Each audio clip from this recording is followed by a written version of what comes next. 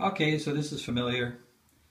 Wall anchor went in to a toilet paper holder and a wall anchor came out. Alright, so there's a set screw underneath. So you're going to loosen that set screw and then you pop off the back. There's the back, there's a screw in there, we'll get it out, go from there. Well, strange but true on this one. There actually is a stud behind it. So I put this in there like this, drilled in with my drill to get a pilot hole started.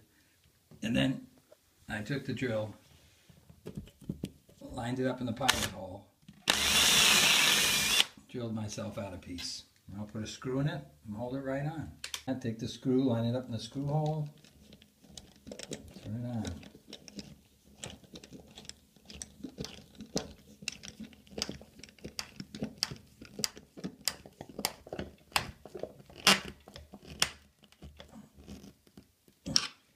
Not too many like that. I'll just put the piece back on with a set screw and you're done.